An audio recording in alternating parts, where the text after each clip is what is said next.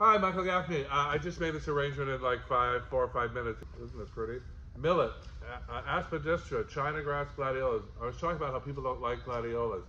Now you do. So in my book, right down here, Design Star, Flower Power, and An American in Paris. I have schools all over the country, 17 cities.